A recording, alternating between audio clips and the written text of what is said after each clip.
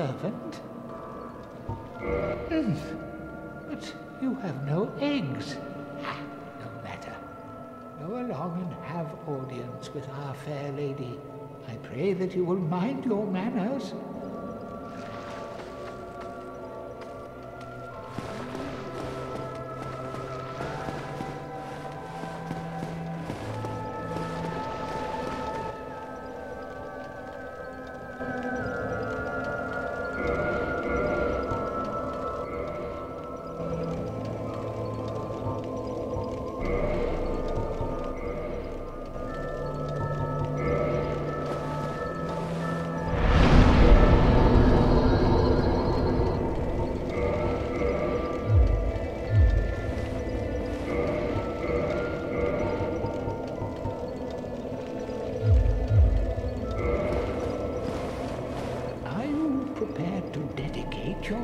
To our fair lady?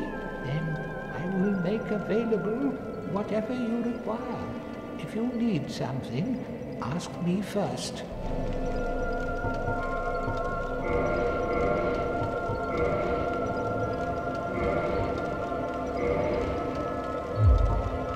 There is no time for idle chat. Think only of our fair lady and what she may need. There is nothing to accept. If you lay a hand on the fair lady, you should be prepared to face my wrath. There is nothing to accept. You